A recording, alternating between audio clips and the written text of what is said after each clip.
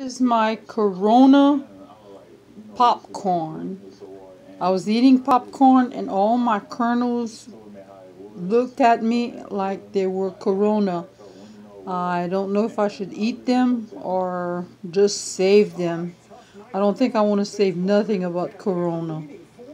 I'm going to record them and let you see them. And maybe y'all could send me something and let me know what I should do with my popcorn.